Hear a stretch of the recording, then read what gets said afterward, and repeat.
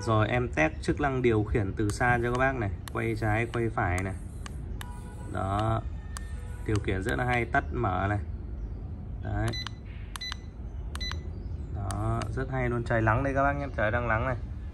Đấy, các bác nhìn thấy cái điểm tia chưa? Đấy. Em phóng to cho các bác xem này. Đó. Đó. Các bác nhìn thấy chưa? Rồi Bộ máy ờ, 5 tia siêu sáng của Makita à, của Akuza. Model là 686D dòng này thì nó có điều khiển từ xa này có xoay trái xoay phải này. Hộp đựng là hộp nhôm này. Đây máy của em nó đây các bác nhé. Có mã QR chính hãng này. Đấy nghiêng là máy của nó sẽ tự kêu. Chân đế xoay 360 độ nha chân đế nhôm đúc cực kỳ chắc luôn. Đấy hai quả pin các bác nhé. Hai quả pin 4800 mAh này. Một sạc này một kính và một điều khiển từ xa.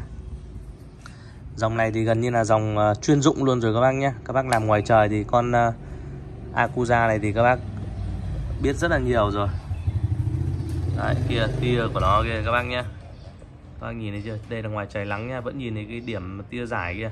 Và điểm dọi của nó thì cực kỳ sáng đây các bác nhìn thấy chưa? Cực kỳ sáng, cực kỳ sắc nét cho các bác anh em mình nhá.